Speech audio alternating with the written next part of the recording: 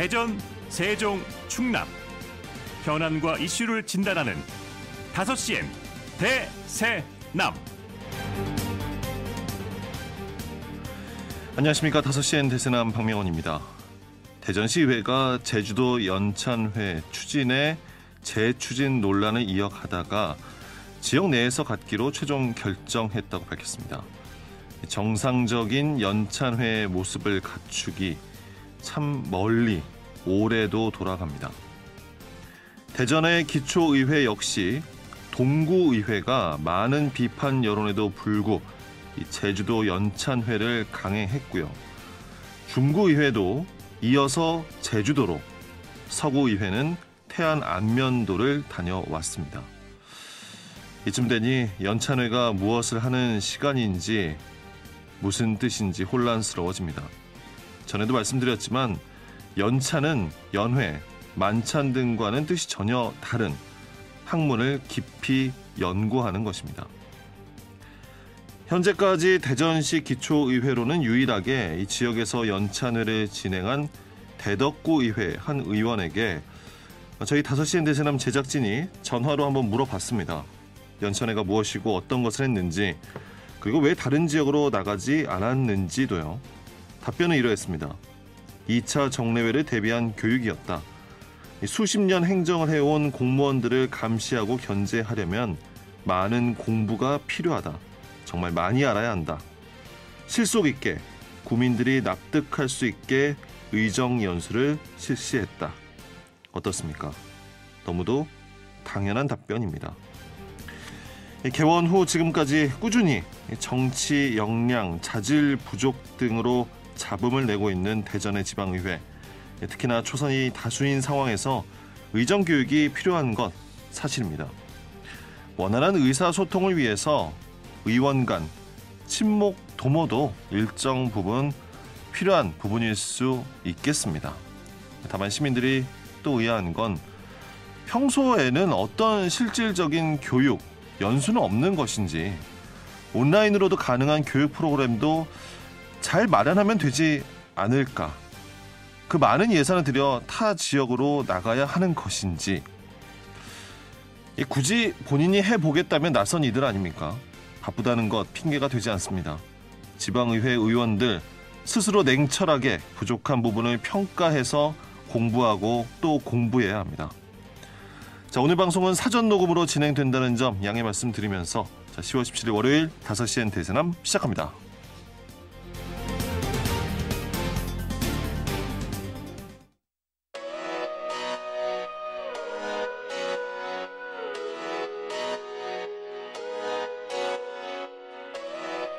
시엔 대세남은 여러분의 참여로 이루어집니다.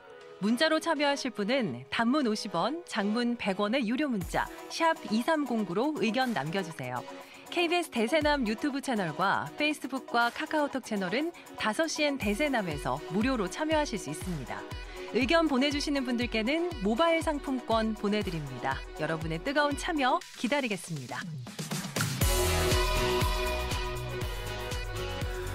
자, 키워드로 보는 뉴스 브리핑 먼저 만나겠습니다. 팟캐스트 아는 것입니다. 정진호 PD 자리했습니다. 어서 오십시오. 네, 안녕하십니까. 정진호입니다. 오늘 첫 번째 키워드부터 알아볼까요? 네, 오늘 첫 번째 키워드는요. 어, 그럼 누굴 폴리널리스트라고 할까요? 로 정해봤습니다. 음, 폴리널리스트에 대한 얘기군요. 네, 그렇습니다. 이 언론계에 몸담으면서 이 정치권과 행정과 좀 친밀감을 쌓은 다음에 어, 이후에 이제 정치나 행정으로 자리를 옮기는 인사들 어, 폴리널리스트라고 이른바 말하고 있죠. 예. 이 폴리널리스트란 말은요, 정치인을 뜻하는 politician, 언론인을 뜻하는 저널리스트를 합쳐서 만든 신조어입니다. 어, 지난 지방선거 기간 대전 충남 민주언론 시민연합에서는 이 언론인 활동하다가 정치권이나 이제 행정으로 자리를 옮겼던 그런 폴리널리스트 명단을 발표하기도 음, 했었는데요.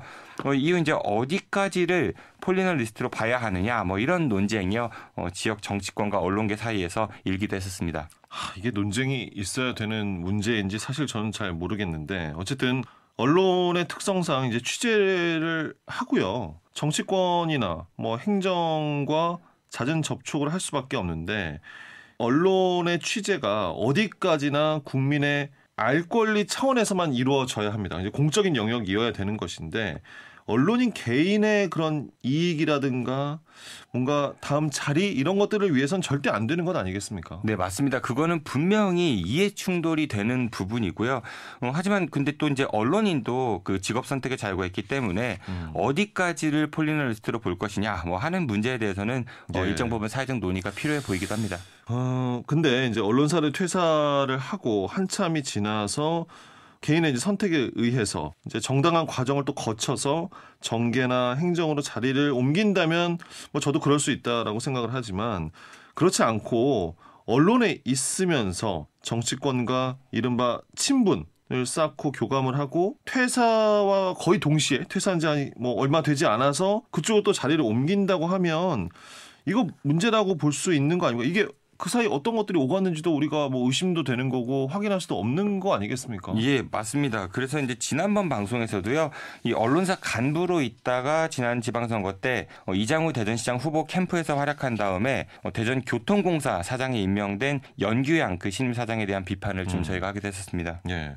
특히나 이 부분은 전문성과도 관련이 있어서 짚어봐야 되는 문제입니다. 네, 그렇습니다. 이 대전시의회 인사청문 간담회 때만 해도요, 그 연규영 사장 그 후보자는 환승 요금조차 제대로 파악하지 음. 못하는 모습을 보여주기도 했었는데요. 예. 하지만 대전시 의회는 그 2시간 만에 청문 간담회를 마쳤고요. 아주 역대급으로 적격 의견을 음. 내서 좀 거수기 논란을 자초하기도 했었습니다. 네. 어, 그리고 또 한 명의 그 인사청문 간담회가 있었는데요. 바로 윤성국 대전 관광공사사장 후보자입니다. 어, 윤 후보자는 지역 일간지 금강일보 대표이사를 지내다가요. 음. 역시 지난 지방선거 때 이장우 시장 후보의 캠프에서 활동을 했습니다. 네. 그 이후 이제 윤 후보자는요 어, 한국관광공사 1급이나 그 코엑스 상무이사, 음. 관광학 박사 이런 화려한 이력을 가진 다른 공모자들을 모두 제치고요. 예. 이 대전관광공사 후보자로 지명이 됐고 어, 지난 목요일에 그 인사청문회가 열렸던 것입니다. 그렇다면 이 인사청문 간담회 분위기는 이번엔 또 어땠습니까? 역시 뭐 폴리널리스트 지적이 나왔었는데요. 어, 더불어민주당 소속 이금선 의원이요. 어, 관광 분야의 화려한 경력을 가진 다른 공모자들 대신에 어, 윤 후보자가 지명된 거는 이거 보은 인사 아니냐. 음. 그리고 윤 후보자는 대전 충남 민원연이 이 지역의 폴리널리스트라고 이렇게 지목을 했는데 어, 이런 거에 대해서 어떻게 생각하냐. 뭐 이런 어, 질문을 던졌습니다. 어, 이에 대해서 윤 후보자는요, 어, 이 시장 캠프는 지인 소개로 참여하게 됐었고, 언론에 있다가 정치권에 들어갔고, 뭐, 그러다 다시 또 현직으로 돌아오는 이들이 폴리널리스트인데, 자신은 뭐 퇴직한 다음에 그 정치권에 입문을 했고, 또 다시 언론에 돌아갈 생각이 없기 때문에 이 음. 폴리널리스트로 뽑힌 데는 동의할 수 없다. 뭐 이렇게 답변을 했습니다. 본인이 이렇게 정의를 했군요. 네, 그렇습니다. 언론사를 한 번 나갔다가 다시 온 사람만이 폴리널리스트다. 이렇게 네, 정리를 본인이 했습니다. 네. 글쎄 이게 맞는 건지 모르겠는데 일단 시사 상식 사전을 보면요. 음. 언론인으로서의 직분을 망각하고 정치권에 진출하기 위해 언론인 경력을 팔아넘기는 정언유착의 상징적 표본이라고 이렇게 아, 설명을 하고 있거든요. 예. 다시 말해서 이제 폴리널리스트를 비판하는 가장 큰 이유는 그 언론의 특권을 이용해서 개인의 그렇죠. 이익을 취했기 때문인 것입니다. 음. 어, 유력 일간지 대표이사를 하다가 특정 정치인 캠프에 갔고 그 이후 이제 아무 관련도 없는 산하기관 사장으로 가는 거 이런 거를 폴리널리스트라고 하지 않으면은 무엇을 폴리널리스트라고 해야 할지 모르겠습니다. 어, 그래서 윤성국 후보자의 이런 해명은 동의하기 좀 어렵다는 생각이 들고요. 그리고 또 윤 후보자가요 그 퇴사 후 정치권에 입문했다 뭐 이런 발언을 했는데요. 사실 대전관광공사 사장은요 이 정치인이 아니라 공공기관의 수장입니다. 음. 윤 후보자의 해명 그리고 이런 생각들 좀 더 씁쓸하다 이런 생각이 듭니다. 바로 전임 시장이 임명했다는 이유로 이장우 시장이 자진 사퇴를 요구해서 어, 생긴 자리예요. 이런 음. 업무 관련성도 없는 언론인 출신 선거 공신들이 어, 자리에 들어가는 모습 그리고 이런 후보자에 대해서 적합 판정을 내리고 있는 의회 이건 좀 뭐가 잘못돼도 좀 한참 잘못된 게 아닌가 싶은 생각이 음. 듭니다. 역시나 적격이죠. 네. 의회의 판단은 적격입니다. 네. 다음 키워드 알아볼까요? 네, 두 번째 키워드는 맥주잔 던지면은 친한 사이로 정해봤습니다. 이게 어떻게 친한 사이입니까? 이 고용노동부가 특별 근로감독을 실시한 결과요. 대전 구직신협에서 벌어졌던 한 전무이사의 직장 내 괴롭힘 의혹 어, 상당 부분 사실로 확인이 됐습니다. 예. 어, 고용노동부는요 법 위반 사항 다섯 건을 적발해서요 그 사법 처리를 한 다음에 어, 구직신협에도 또 과태료 3,790만 원을 부과했습니다. 음. 어, 의혹들이 제기가 됐었는데 결국 이제 사실로 확인된 거군요. 네 그렇습니다. 이 술자리 폭언과 뭐 개인적인 용무지시 등 이 직장 내 괴롭힘 확인됐고요. 또 이제 다수의 여직원을 상대로 한 성희롱 사례도 확인이 음, 됐습니다. 네. 또한 이제 연차 미사용 수당 등 1억 3,770여만 원을 그 임금 체불한 것도 어. 확인이 됐습니다. 비위 내용 보면 정말 좀 충격적인데요. 저희가 지난 방송에서 한 말씀드렸지만요. 음. 다시 말씀을 드려보면은 이 공개된 영상에 따르면은 어, 이 전무이사가 여직원의 집 앞에 그 계단에서요. 여직원의 허리를 감싸는 장면도 있고요. 또 이제 회식 자리에서 여성 직원을 껴안는 모습도 있습니다. 어, 영업장 안에서 여직원에게 골프 연습 어, 시켜준다면서요. 부적절하게 신체 접촉하는 그런 모습도 담겨 있습니다. 또 남자 직원들 상대로는요. 단체로 앉았다 일어서기를 시키기도 했고요. 어, 폭언과 욕설도 서슴지 않는 모습도 영상에 담겨 있었습니다. 그런데 이제 문제가 제기된 이후에 이 구직신협이라는 곳 사건을 미온적으로 처리하려고 했잖아요. 네, 그렇습니다. 이 직원들이 문제를 제기했지만요. 이 구직신협 측에서는요. 피해자 가해자 분리 조치 하지 않았었고요. 네. 어, 그래서 직원들이 이제 노조 결성하고 노동청에 진정도 냈습니다. 어, 그러자 구직신협에서는 이 수개월 지난 자료들을 바탕으로 해서 이들에게 지금 심할서를 써라 이렇게 좀 강요하기도 했었고요. 또 가해자로 지목된 전무이사는 CCTV 하드디스크를 교체하려는 등의 그런 증거 인멸 시도까지 했었습니다. 결국 이 전무이사요 그 직권 정지 및 대기 발령 처분을 받았는데요. 그런데 이 해당 처분이 부당하다면서 어. 어, 법원에 효력 정지 가처분 신청을 내기도 했었습니다. 반성은 고사하고 이게 부당하다 받아들일 수 없다라면서 가처분 신청을 냈다고요? 네, 정말 좀 어이가 없죠. 그런데 이런 뭐 아나운서께서도 아 이러셨는데 뭐 네. 전화 아나운서뿐만이 아닌 것 같습니다. 이 가처분 심리를 맡았던 판사도 이 전무이사에게 그 한마디 건넸다고 하거든요. 음. 이 판사가 전무이사를 원고석에 앉힌 다음에요. 어, 한 말씀 드리겠습니다. 이렇게 시작하면서 인간이 생명을 유지하고 연속시킬 수 있는 최후 수단이 노동력이다 보니 예전에는 일정한 지배력이 있으면 다른 사람을 노예로 쓸 수 있다 고 생각하던 때가 있었습니다. 하지만 어느 시점부터는 이 노동력이 매매의 대상이 되더라도 인격은 매매해서는 안 되고 이는 자연법에도 어긋난다 이런 원칙이 세워졌다. 어떠한 경우에라도 다른 사람의 인격을 예속하는 고용관계가 발생해서는 안 됩니다. 인간답게 살아가기 위해서는 노동법을 잘 지켜야 하고 또 이제 직원을 대할 때에는 마음 깊은 곳에서 적대시하지 않으셨으면 좋겠습니다. 이렇게 이제 이 전무이사에게 조언한 뒤에 심리를 마쳤다고 합니다. 아, 재판부가 이렇게 이야기를 했군요. 네, 맞습니다. 이게 한편으로는 지극히 당연한 얘기처럼 들리는데요. 이게 또 음. 명언처럼 들리기도 해서 상당히 좀 그렇습니다. 씁쓸하다 이런 예. 생각이 들기도 하죠. 어, 그런데 이번엔요 또 우리 지역에 있는 또 다른 신협 지점에서요 이 갑질과 성희롱을 했다는 의혹이 또 제기가 어, 됐습니다. 예. 충남에 있는 한 신협인데요. 그 남성 임원이요 여직원의 옆구리를 뭐 찌르고 어깨를 주무르고 팔을 만지는 등의 그런 부적절한 신체 접촉을 오랫동안 해오면서요. 음. 또 이제 다른 직원들 앞에서 뭐 돼지, 아줌마 이렇게 부르기도 했다고 하는데요. 어, 심지어는 회식 자리에서 술병까지 던지는 일이 있었다고 합니다. 술병을 던졌습니까? 네, 그렇습니다. 사람한테요? 가능합니까? 이런 일이 2년 반 동안 이어졌다고 하는데요. 그래서 이제 피해 직원이 이사장한테 이 사실을 알렸다고 합니다. 예. 어, 하지만 이사장이요. 그냥 장난일 테니까 네가 좀 참어라. 어, 이러면서 조사조차 하지 않았다고 합니다. 아니 이렇게 모욕감을 주고 술병을 던지는데 그냥 장난일 테니 참아라. 아, 이거 아, 너무 화가 나는데요. 근데 만약에 이 임원이나요 아니면 이사장한테 누군가 이렇게 뭐 만지고 그렇죠. 예 모욕감 주고 술병 던지고 본인들한테. 예 이거 장난으로 받을지 참 궁금하거든요. 이 문제가 불거져서 신협 중앙회가 조사를 좀 나섰는데요. 이 피해 직원 말고도 두 명이나 더 갑질 피해를 받은 것으로 확인이 됐다고 합니다. 음. 그런데 이 임원은 뭐 자신의 골프화를 닦아라 이렇게 시키기도 했다고 하고요. 또 뭐 태블릿 중고 PC 거래까지 시킨 일도 있었다고 합니다. 결국 그 신협 중앙회가 가해 임원에게 중 징계 그리고 이사장에는 감독 소홀과 2차 가해 책임을 물어서 경징계를 내렸습니다. 근데 이사장이 했던 얘기가 또 여기서 이런 해명을 했다고 합니다. 예. 뭐 친하게 생각해서 그런 거다. 참 상당히 어이가 없죠. 이렇게 좀 연이어 터지는 신협 지점들의 갑질과 성비위 문제 이거는 그냥 넘어갈 수 있는 일은 아닌데요. 네. 그 신협 중앙회 차원에서 이 전수조사를 할 필요가 음. 있어 보입니다. 예.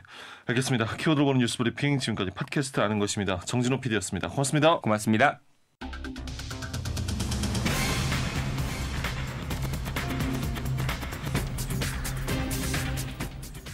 다섯 시엔 지역의 이슈와 현안을 진단합니다. 다섯 시엔 대전, 세종, 충남 지역민의 목소리를 듣습니다. 다섯 시엔 시사 라디오, 다섯 시엔 대세남이 있습니다. 네, 월요일 5시엔 대세남 듣고 계십니다. 집중 인터뷰 이어집니다. 자, 우리 사회의 약자와 소수의 목소리를 대변하는 이 시민단체, 정부와 지자체를 견제하고 감시하는 역할 하고 있습니다. 네, 그런데 지난 4일 이들의 활동을 지원하는 규정, 이 대통령령인 시민사회 활성화와 또 공익활동 증진에 관한 규정이 폐지됐습니다. 이에 시민단체의 비판적인 목소리를 억누르려는 것이 아니냐 이런 반발의 목소리가 나옵니다. 자, 모건대학교 행정학부 권선필 교수와 관련해서 이 시민사회 활성화 규정 폐지가 무엇을 의미하는 것인지 또 현재 상황, 대응 방안 등에 대해 짚어보도록 하겠습니다. 자, 전화 연결되어 있습니다. 권 교수님 안녕하십니까? 예, 안녕하세요. 권선필 교수입니다. 예, 교수님 그 사실 윤석열 정부는 출범 직후부터 시민단체들에 대한 압박을 지속하지 않았나 싶습니다. 뭐 감사원의 비영리 민간단체 지원 실태에 대한 감사를 진행한 것도 있고 시민사회 활성화에 관한 이 대통령령으로 되어 있는 것인데 이게 폐지하는 결정을 결국 내렸거든요.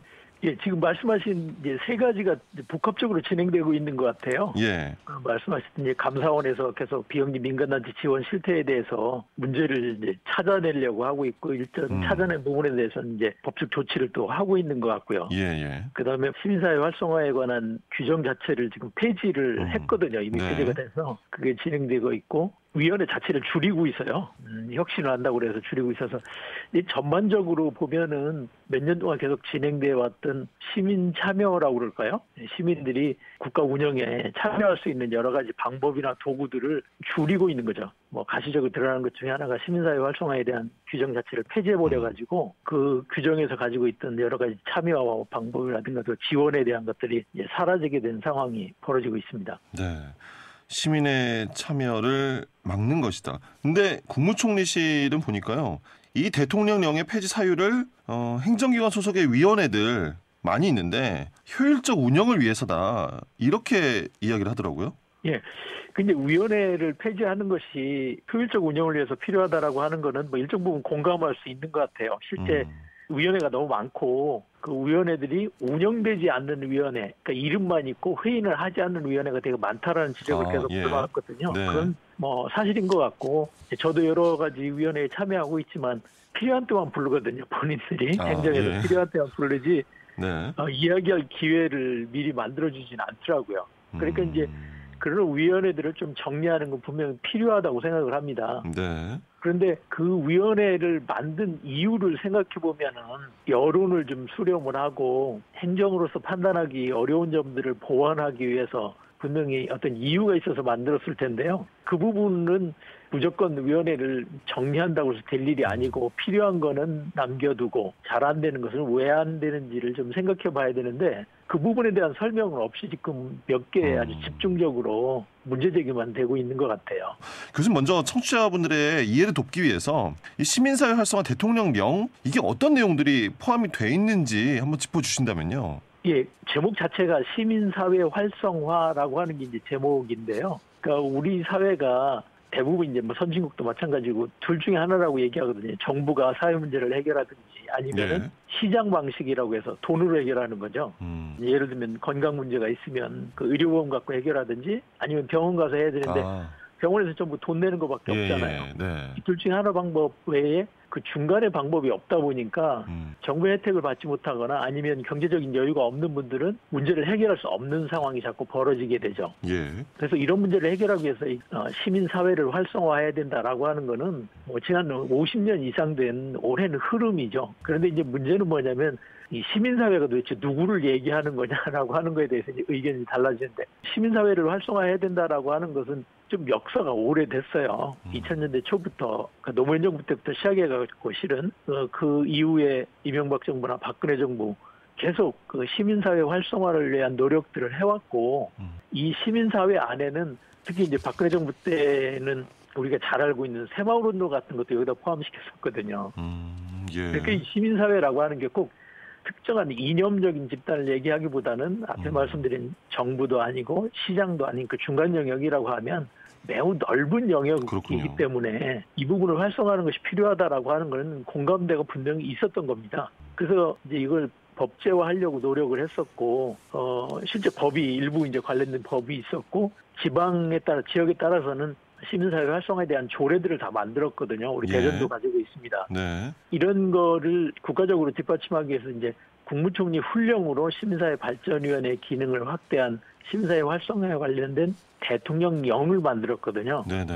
이 대통령령 내용 자체는 특정한 이념적인 단체나 이런 게 아니고 시민사회 전반을 발전시키고 또 촉진하기 위해 가지고 정부 관련 부처라든가 또 시민사회를 대표할 수 있는 분들이 같이 참여해서 시민사회를 활성화할 수 있는 방안 또 정부와 협력할 수 있는 방안들을 좀 만들자라고 해서 만든 그 위원회가 이제 중심이 됐던 건데 어, 이 위원회를 운영하고 또 시민 사회를 실질적으로 활성화할 수 있는 다양한 지원책들을 좀 담고 있는 내용이었던 거죠. 음.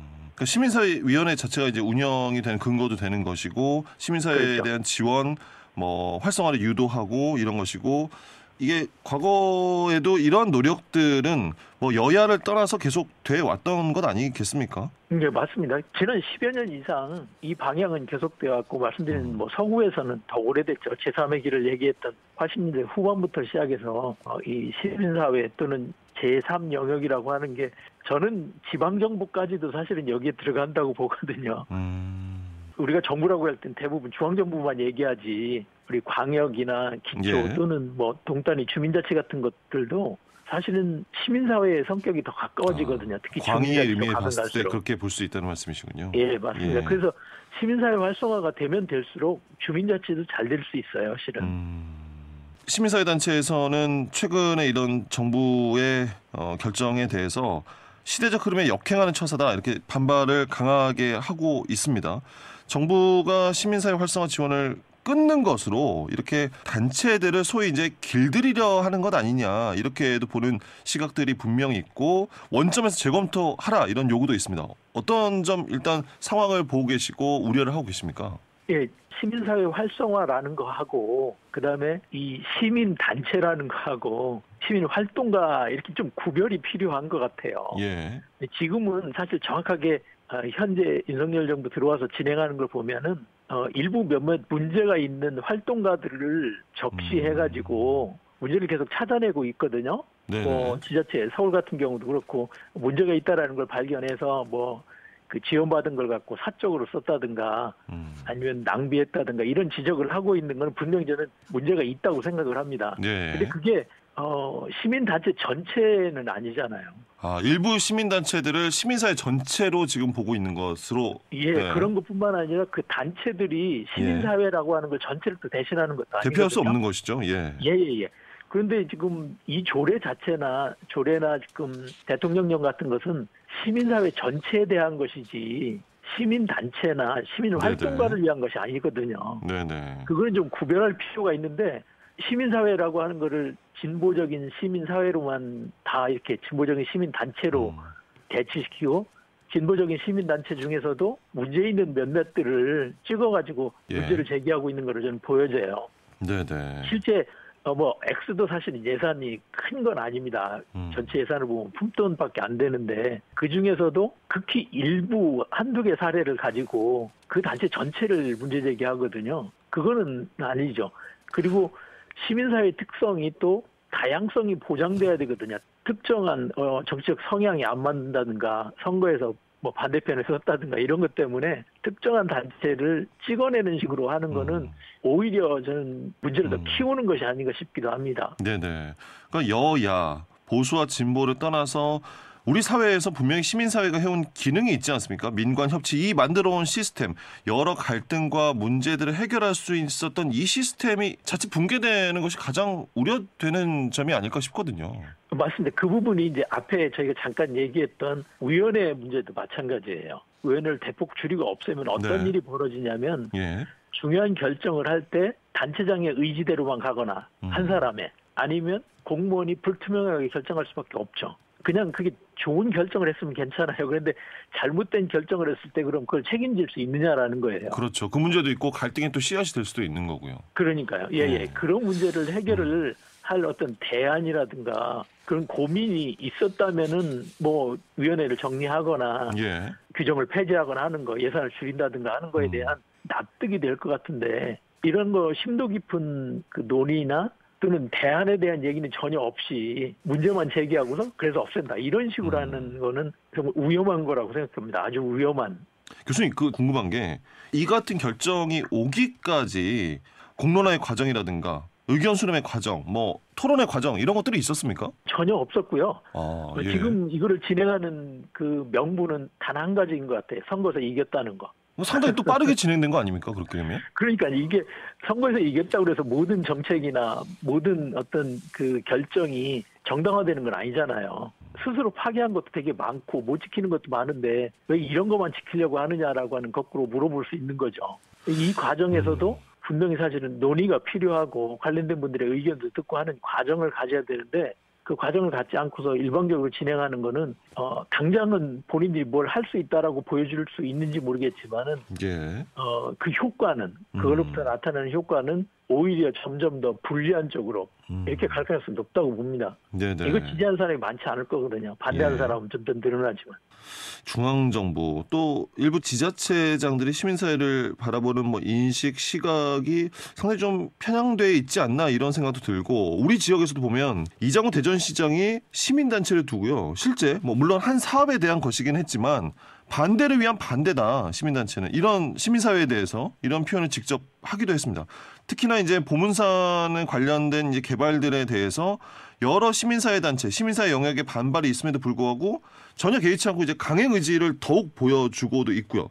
또 논란이 지역사회에서 되고 있는 것이 주민참여 예산 축소. 이것도 사실 지역의 뭐 시민단체들의 의견을 전혀 이제 수렴하지 않는 모습인데 이 같은 이런 어, 지자체장들의 행보를 어떻게 보십니까? 단기적으로는 본인이 어떤 의지를 관철할 수는 있을지 모르겠어요. 그런데 그 관철을 하고 나서 후유증에 대해서는 생각을 좀 해볼 필요가 있습니다. 사실 제가 이제 이런 이야기 하는데 우리 주민들, 반대하는 주민들은 평생 여기 살 주민이에요. 그런데 지금 단체장들은 4년 임기를 갖고 있거든요. 예. 4년 동안 하는 사람이 평생 살고 있는 사람하고 싸워서 이기려고 하는 거 이거는 저는 잘못된 태도라고 보거든요.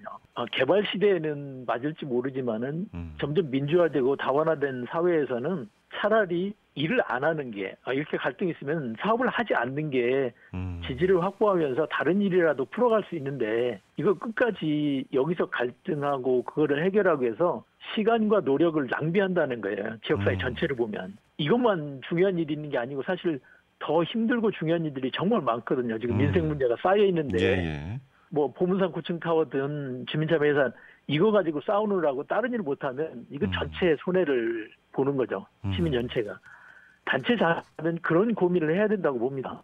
우리 도시 전체를 음. 위해서 어떻게 해야 될까라는 걸 고민하고 더 많은 사람들에게 어려움을 풀어주기 위해서 노력을 해야 되는데 어, 사소한 일 갖고 갈등하고 싸우는 거는 이거는 지역사회 전체로도 불행한 일이죠. 아, 시민사회 활동의 이제 중요성과 의미도 짚어봤는데 앞으로 어쨌든 계속해서 갈등 상황들이 생길 수밖에 없고 시민사회 활성화가 이렇게 뭐 대통령령 폐지도 됐고요.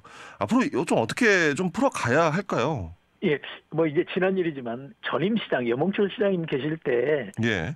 이 문제를 상당히 저는 잘 풀었다고 봅니다. 그때 침묵하면서도 현장에서 열심히 하고 있는 단체들도 많이 있거든요. 네네. 아까 어, 이야기했던 새마을 운동이라든가 음. 또는 각종 보훈 관련 단체들이라든가 예. 또 마을에 있는 여러 가지 단체들 이런 단체들이 함께 일할 수 있는 분위기를 만들려고 노력을 하셨었어요. 음. 그래가지고 어, 시민단체 협의회 같은 거 할 때 이게 진보적 시민단체뿐만 아니라 아, 예. 기존에 있는 보수적 시민단체들도 같이 한번 해봐라. 그런 장을 만들어갖고 스스로 주민들끼리 해결하도록 그렇게 해서 상당 부분 그게 성과를 이루었고 그 기반이 좀 실험적인. 시도들도 많이 있지 않았었습니까? 맞습니다. 예, 예, 예. 그렇게 시민들 스스로 이 문제를 해결하도록 하는 것이 음. 저는 음, 사회를 통합하는 단체장의 역할이라고 생각하거든요. 네네.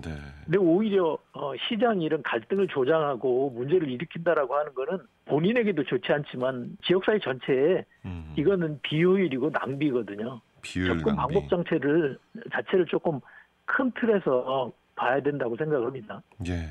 지혜를 모으면 모을수록 좋지 않을까 하는 생각 들고요. 교수님 오늘 말씀 여기까지 듣도록 하겠습니다. 말씀 감사합니다. 예, 고맙습니다. 네, 지금까지 모건대학교 행정학부 권선필 교수와 시민사회 활성화 규정 폐지와 관련된 말씀 나눴습니다. 네, 이어서 5시엔 대세남 독서 캠페인이자 우리 사회 전반적인 문제들을 책을 통해 고민해보는 책으로 보는 시사 대세남 책사. 오늘은 청소년 소설 페퍼민트를 소개해드립니다.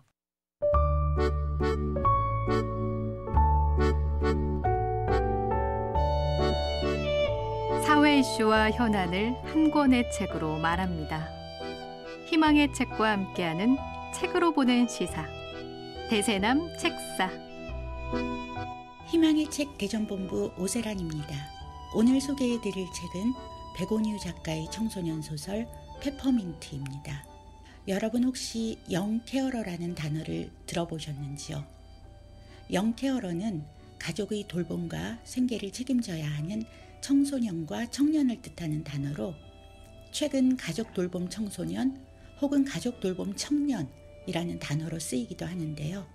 지난해 대구에서 일어났던 22살 청년의 비극적 사건 이후 주목받고 있는 단어입니다. 제가 오늘 소개해드릴 청소년 소설 페퍼민트는 바로 가족 돌봄 청소년을 주인공으로 삼은 이야기입니다. 이 작품은 엄마의 엄마가 되어버린 여성 청소년 시안이 등장합니다. 시안의 어머니는 몇 년 전 사회를 휩쓸고 간 감염병의 후유증으로 식물인간이 되었습니다. 전문 간병인과 여러 직업을 전전하는 아빠, 그리고 고등학생인 딸 시안이 돌아가며 어머니를 돌보지만 어머니는 몇 년째 깨어나지 못하고 있습니다. 주인공 시안은 내가 깜빡 존 사이에 엄마가 잘못되면 어떡하지? 그런 두려움 때문에 쏟아지는 잠을 쫓는 마음을 다른 사람은 모를 거라고 생각하며 외로워합니다. 또 친구를 만난 후 시아는 나는 내가 세상에서 얼마나 낙오되어 있는지 실감했다. 보통 사람들의 진도를 죽을 때까지 따라잡지 못할 수도 있다는 생각으로 내 미래에 실망하게 되었다 고도 고백합니다. 끝이 보이지 않는 간병의 길을 걷고 있는 청소년 주인공의 처지가 안타깝습니다. 어떻게 생각하면 청소년은 가정 형편이 어려워졌을 때 부모나 조부모를 도와 자신이 할 수 있는 일을 해야 하는 가족 구성원이기도 합니다. 우리 사회의 기초 단위가 가정이기에 외부의 도움을 받기 전에 가족 내에서 서로 돕는 것은 어쩌면 당연한 일이기도 한데요. 그러나 가족 내에서 해결하거나 감당할 수 있는 범위를 벗어났음에도 가족 내의 청소년에게 과도한 짐을 지우는 것은 이제 우리 사회가 돌보아야 할 때입니다. 그들에게는 미래를 준비해야 할 또 다른 사회적 역할이 주어져 있기 때문입니다. 이 작품의 또 다른 의미는 그동안 적지 않은 편견에 시달려온 직업 간병인의 모습을 따뜻한 마음과 전문적 태도를 지닌 직업인으로 긍정적으로 그려내고 있다는 점입니다. 책의 일부를 들려드리겠습니다. 너무 슬퍼하지 마. 모두 결국에는 누군가를 간병하게 돼. 한평생 혼자 살지 않는 이상 결국 누구 한 명은 우리 손으로 돌보는 게 자연스러운 일이야. 우리도 누군가의 간병을 받게 될 거야. 사람은 다 늙고 늙으면 아프니까. 스스로 자기를 지키지 못하게 되니까. 너는 조금 일찍 하게 된 거라고 생각해봐. 간병인의 목소리로 들려주는 이 대화는 너무 이른 시기에 가족을 돌보게 된 청년 시안을 위로해 줄 뿐 아니라 노년 인구가 급속히 증가하는 이 시기에 우리 사회가 돌봄에 대해 새로운 인식과 태도를 가져야 한다는 것까지 전해줍니다. 이 작품은 청소년 소설이지만 청소년 독자뿐 아니라 어른 독자들도 읽으며 고민할 수 있는 주제를 담고 있습니다. 우리 주변의 돌봄 사각지대를 돌아보는 이야기를 청소년과 어른이 함께 읽으며 진지한 대화를 나누어 보면 좋겠습니다. 네, 5시엔 대세남 독서 캠페인이자 우리 사회 전반적인 문제들을 책을 통해 고민해보는 책으로 보는 시사 대세남 책사. 오늘은 희망의 책 대전본부 오세란 이사께서 청소년 소설 페퍼민트라는 책 소개해드렸습니다.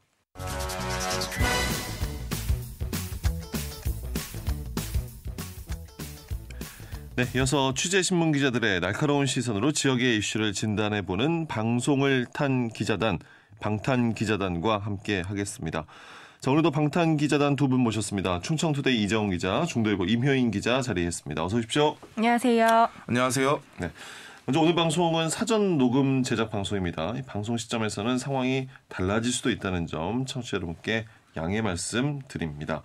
자, 대전 UCLG 한번 살펴볼 텐데요. 1993년 대전 엑스포 이후 대전에서 개최되는 가장 큰 규모의 대형 국제 행사입니다. 지난 10일에 열린 UCLG 대전 총회가 지난 14일에 이제 막을 내렸는데 방탄 기자단과도 이야기했었지만 이게 제대로 될 수 있겠느냐 이런 우려도 참 많았습니다. 하지만 어 일단 참여하는 뭐 국가 도시 뭐 인원도 상당히 많았고 혹시 두 분은 현장을 가보셨습니까? 어떻습니까? 네, 뭐 일단 이번 행사에는 저희가 대덕축구 출입 기자라다 보니까 지나다니면서 외국인들을 참 많이 봤고요.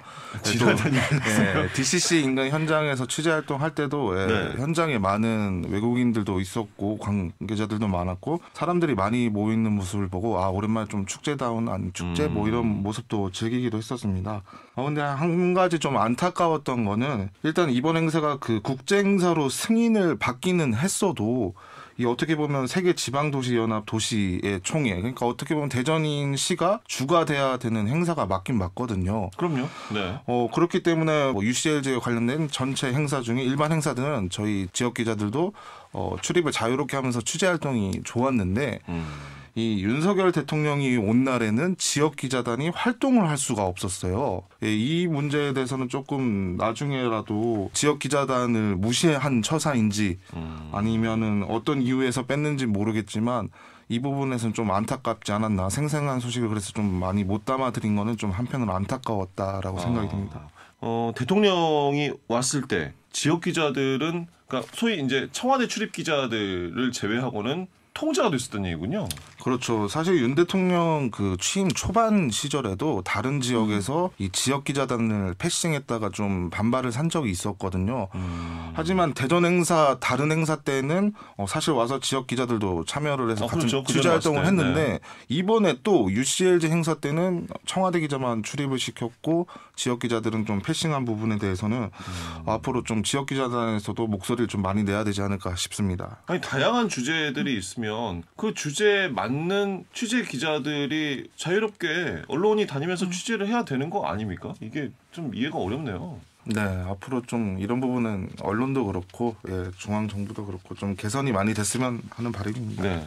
어쨌든 어, 우리의 예상보다는 지금 이제 현 시장이라든지 대전시의 노력이 있어서 그랬는지 모르겠지만 상당히 이제 많은 인원이 일단 참여를 했다라고 공식 발표는 있습니다. 현장의 분위기도 정말 그렇게 뜨거운 현장의 열기가 느껴질 정도였습니까? 어떻습니까? 네, 일부 큰 행사에서는 사실 그 타 도시, 다른 나라에서 온 도시의 이제 주요 관계자들이 대전에 대해서 즐겁게 다들 받아주는 모습을 보였고 음. 현장에서도 국내 도시 참석자들뿐만 아니라 대전시가 열심히 홍보 활동을 하면서 대전을 알리기 위한 모습을 많이 보였는데 네. 어, 한 가지 좀 이거는 뭐 다른 정보로 얘기를 좀 드리면 그 현장에서 이 대전의 과학 기술을 좀 보여주기 위한 로봇 행사 비슷한 걸 한번 한 적이 있었는데 어, 네. 그 로봇이 그 워낙 사람이 많다 보니까 이 자율적으로 움직여야 되는데 사람들 때문에 자꾸 멈추는 거예요. 자율주행을 못 하고. 아. 네, 그래서 약간 그 뒤에 관계자가 밀면서 오히려 과학 기술에 허점을 보이지 않았냐라는 아. 현장의 반응도 나왔다고 하는데 원래 학습됐던 환경이 아닌 음. 환경이 되다 보니까 네, 로봇이 오작동을 했나 보군요. 그만큼 사람들이 많이 모였었다라는 음. 것을 방증이 되고 또 한편으로는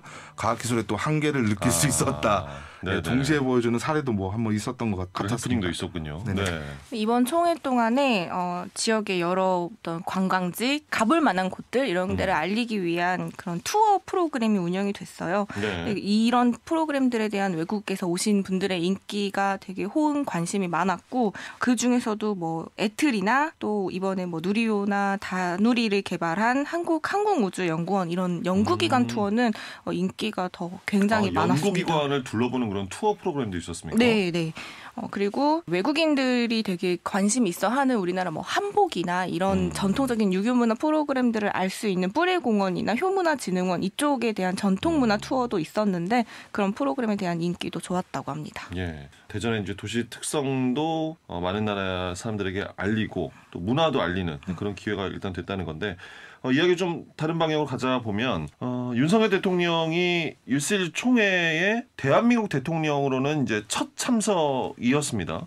보도를 보면 뭐 국제 무대에서 지방 정부 역할을 강조했다 이렇게 보도 뉴스를 저도 접하긴 했는데 어떤 발언들을 실제 했다고 합니까? 네, 윤 대통령이 그 총회에 참석을 해서요. 어디서 살든 공정한 기회를 누리는 지방 시대를 국정 과제로 선정을 했고 그래서 지방 정부의 경쟁력이 곧 국가 경쟁력이고 국가 성장의 뭐 원동력이다. 뭐 이런 음. 이야기들을 했습니다. 그러니까 지금 정부도 지방 균형 발전 뭐 이런 얘기 많이 하고 있잖아요. 그래서 그런 결로 발언을 했습니다. 네. 일단은 뭐 하나 좀 지켜봐야 될 발언들 중에는 대전이라는 말을 상당히 좀 많이 언급을 또 했었고 네. 특히나 그 대한민국 경제 발전을 이끌어온 과학 수도에 대한 말을 강조를 하는 모습을 보면서 제가 뭐 지난 방송에도 얘기했듯이 이장우 시장이 잘했던 부분 중에 하나가 과학 도시 정체성 확립을 더욱 잘했다 이런 평가를 음. 한번 한 적이 있는데 그만큼 이제 대통령의 이제 인지상에서도 어떻게 보면 음. 대전하면 과학 도시다라는 게 어느 정도 이제 어, 많은 도시에게도 알려진 것 같고 해외 도시까지도 과학 도시라는 게 이 정체성 확립을 좀 잘한 부분이 아닌가 그런 싶기도 합니다. 부분은 대전시에서 좀 역할을 했을 가능성이 높겠군요. 사전에 좀 조율도 하고요. 네, 그랬을 것 같습니다. 네네. 이장호 대전시장의 뭐 발언이라든지 이날 반기문 전 유엔 사무총장도 발언을 한것 같더라고요. 네, 반기문 전 유엔 사무총장이 이날 기조 연설을 했습니다. 어, 반전 총장이 세계가 지방이고 지방이 세계다 이렇게 얘기를 하면서 지속 가능한 발전을 위한 세 가지 축으로 사람, 지구, 정부 이렇게 제시를 하면서 각 지방 정부가 가장 핵심적인 어떤 주축이 돼야 된다 이렇게 강조했습니다. 네.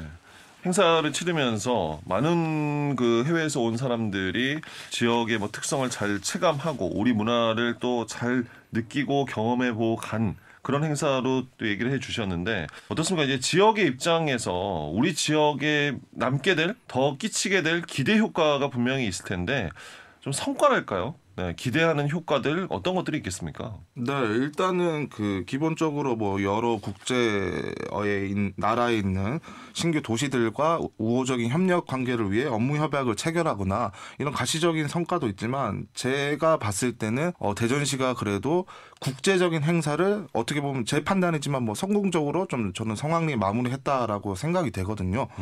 이거 자체도 충분히 대전시 지자체 입장에서는 충분한 경험치가 될 수 있을 것 같고 어, 실제적으로 이번 총회에 뭐 대학생이나 유학생 등 이 자원봉사자들만 뭐 2,400여 명이 넘게 뭐 모였다고도 하는데 그만큼 국제 경험을 쌓을 수 있는 무대를 지자체가 또 마련해줬고 행사 자체도 끝까지 잘 이끌어 갔다는 것은 앞으로도 대규모 행사나 뭐 이런 비슷한 프로그램을 지자체가 잘 활용할 수 있을 것이다. 여기에 대한 경험치를 확보했다는 것에서 좀 의미를 부여하고 싶은 그런 생각이 듭니다. 네. 또 이게 뭐 행사 성격 자체가 막 모든 시민들이 즐기고 가서 막 배울 거리가 있고 음. 이런 행사는 사실 아니었어요. 네. 근데 다만 이 UCLG가 열리는 기간에 대전시가 여러 이제 뭐 문화 행사들을 마련을 해서 시민들이 좀 더 즐길 거리가 풍성해지는 기간이었다는 음. 점에서도 좋은 시간이었다고 생각합니다. 네. 아, UCLG 대전 총회 그렇다면 또 아쉬운 점도 있지 않았을까 싶은데요. 어떤 것들이 있었을까요? 이 개인적 생각이지만 사실 시민들이 함께하는 모습은 좀 찾아보긴 힘든 행사였다. 뭐 어떻게 보면 이 UCLG 성격 자체가 그 회의를 주제로 하는 행사이기 때문에 어, 이런 모습에서는 조금 아쉬웠고 지금 시민들을 위해 K-팝 콘서트나 뭐 지금 한비타워에서 진행했던 공연 이런 문화 공연적인 측면에선 시민 직결은 좋았지만 사실 다른 행사에서는 시민들의 관심을 얻기에는 좀 어렵지 않은 행사였지 않나. 음. 그래서 앞으로 뭐 이런 국제적인 행사를 치를 때도 조금 더 다양한 프로그램, 시민들의 참여를 유도하는 프로그램이 어, 함께 진행됐으면 하는 아쉬운 대목이 있습니다. 네네. 전체적인 그림으로 봐서는 되게 작은 부분이긴 한데 행사장에 지역에 있는 기업이나 지역을 알리기 위한 어떤 전시들이 많이 마련이 됐어요. 근데 음. 대전시에서 지역에 있는 기업들한테 UCLG라는 국제 행사를 하니까 너희들을 알리기 위한 이런 부스들을 열어줄게라고만 좋은 했지. 네. 근데 되게 좋은 거지만 네. 사실 이제 기업 입장에서는 어, 기업도 협조를 하기 위해 나간 거거든요. 사실 음. 이제 지방 정부 간에 회의를 하는 자리에 기업이 꼭 나가가지고 자신들이 원하는 성과를 이루기 어려운 기업들도 있는가 한데 음. 이제 이런 상황에서 기업들 입장에서는 아, 우리도 협조하기 위해 나온 건데 대전시는 나오라고만 하고 어떤 적극적인 뭐 소개, 홍보 이런 부분들이 음. 부족했다는 점에서 약간 그런 그쪽으로 불만의 소리가 나왔습니다. 안 됐나 보네요. 그렇죠. 약간 네. 기업들 입장에선 강제 동원 느낌을 받았다라는 분들도 아, 있더라고요. 그런 뒷얘기도 나왔군요. 네. 그 UCLG 총회가 이제 막을 내렸는데 그렇다면 이제 시민들 입장에서 궁금한 게 어 그랬구나 막을 내렸구나 그럼 이게 앞으로 어떻게 좀 활용이 되는 건가? 어떻습니까? 이게 앞으로 관련이 됩니까? 네, 일단은 뭐 이번 국제 행사를 진행하면서 이 대전이라는 곳을 많은 곳에 알릴 수 있었다라는 것은 좋은 기회였다고 생각이 되고요. 음. 어, 가장 관건은 이 UCLG라는 그 총회 뭐 의제나 이 회의장 같은 데서 나온 메시지들을 단순히 회의장 안에서만 그치는 게 아니라 어, 앞으로 추후 대전시와 같이 공통된 현안이나 문제점을 겪고 있는 다른 도시와도 지속적인 교류를 통해서 좀 문제나 이런 점을 후속 조치를 조금 더 손쉽게 풀어나갈 수 있는 이런 계기로 삼아야 되지 않을까 생각이 되고 있습니다. 네. 이번 총회 기간에 회장을 뽑는 그런 선출 회의를 했어요. 근데 이제 결과는 특 특정 국가 특정 지방의 단체장을 뽑는 게 아니었고 한 명씩 돌아가면서 1년씩 4개 도시가 하기로 결정을 어, 했습니다. 이게 어떻게 보면 어쨌든 내부적으로 의견을 협의를 해서 도출한 결과인데 그 도시들과 그리고 또 이 UCLG라는 다른 세계 지방 정부 연합체들 간에 좀 더 그 활발히 교류할 수 있는 기회가 음. 될 수도 있을 것 같아요. 그래서 음. 이번 행사 한 번으로 끝나는 게 아니고 계속 교류를 하면서 우리 그 대- 도시 자매 도시들과도 계속 교류할 수 있는 기회로 좀 작용을 하면 좋을 것 같습니다. 예. 자, 다음 주제로 넘어가 보겠습니다. 자, 윤석열 정부의 첫 국정감사 지난 4일 시작이 됐습니다. 특히나 대전시와 세종시도 오는 20일 어, 첫 국정감사를 앞두고 있는데요. 일단 분위기가 어떻게 좀 예측이 되고 있습니까? 어, 일단 전체적으로 지금 중앙부처들의 국감이 먼저 시작이 되게 됐는데, 음. 이 초반에는 사실 너무 현안을 가지고 싸우기보다 정치적인 것으로 얽힌 것들만 계속 내- 부각을 시키면서 정작 현안들을 건들지 못하는 이런 음. 모습의 국감을 보였는데요. 어, 실제로 과방위 국감 첫날에도 제가 지켜봤지만 장관의 참석 여부를 두고 사과부터 하세요가 첫 이 질의의 음. 어, 예, 멘트였고 때문에 네. 이번 지자체 국감에서 뭐 어떻게 흘러갈지 모르겠지만 좀 현안을 점검하는 시간을 그래도 지자체 국감이니까 좀 가질 것 같긴 하지만 여전히 정치적인 이런 이슈들이 터지지 않을까 좀 우려되는 모습도 있습니다. 네. 일단은 대전시와 세종시가 오는 20일 첫 국정감사를 앞두고 있습니다. 일단 대전시 같은 경우에는 과연 이제 어떤 쟁점들이 다뤄질까? 방탄기자단은 어떻게 보십니까? 지난 민선 7기 때 있었던 대전 시정보다는 음. 민선 8기가 들어와서 바뀐 부분에 대한 그런 정책적 질의가 있지 않을까 예상이 돼요.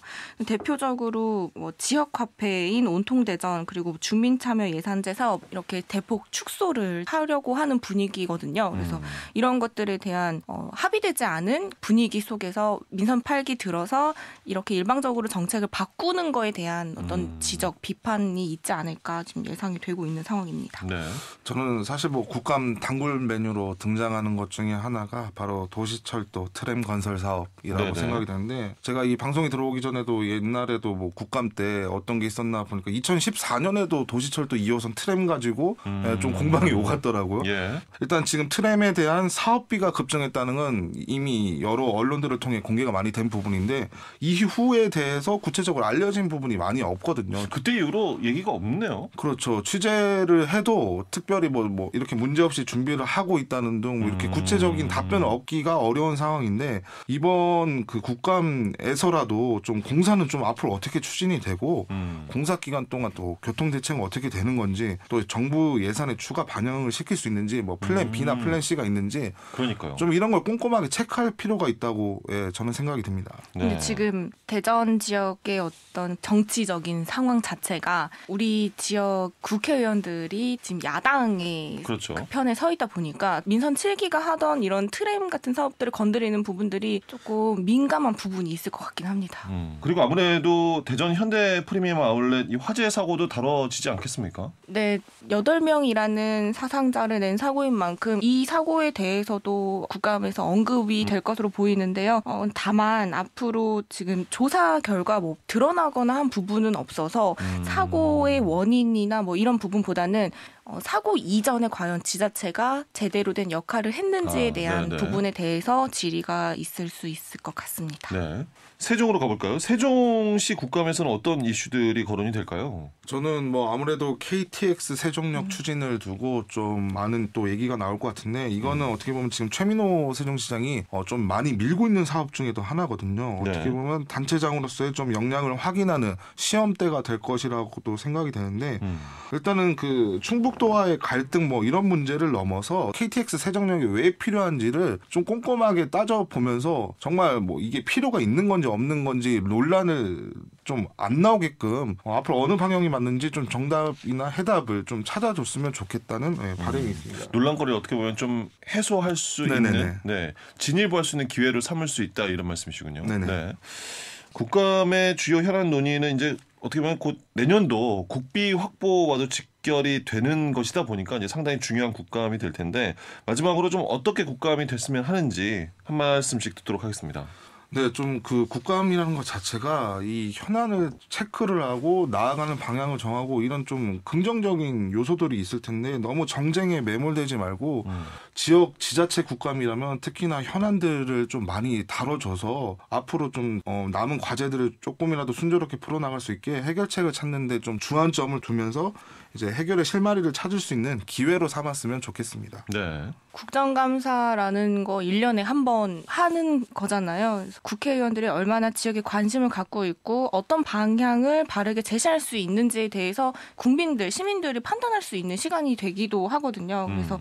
잘하고 못하는 것들에 대한 확실한 지적이 있었으면 좋겠고 네. 그게 나아가서 방향 제시까지 해서 아 음. 국회의원들이 이런 일을 할 수 있구나라는 걸 시민들이 많이 체감할 수 있는 기회가 됐으면 좋겠습니다. 네. 자, 방탄 기자단 오늘은 뉴스LG 대전 총회 그리고 20일부터 진행될 대전시 와 세종시 국감 이슈들 짚어봤습니다. 충청투데이 이정훈 기자, 중대부 이명현 기자와 함께했습니다. 고맙습니다. 고맙습니다. 감사합니다. 5시엔 대세남 오늘 순서 여기까지입니다. 오늘 끝곡 카더가든의 숨을 곳 없어요 준비했습니다. 이 노래 전해드리면서 저도 인사드립니다. 지금까지 박명원이었습니다.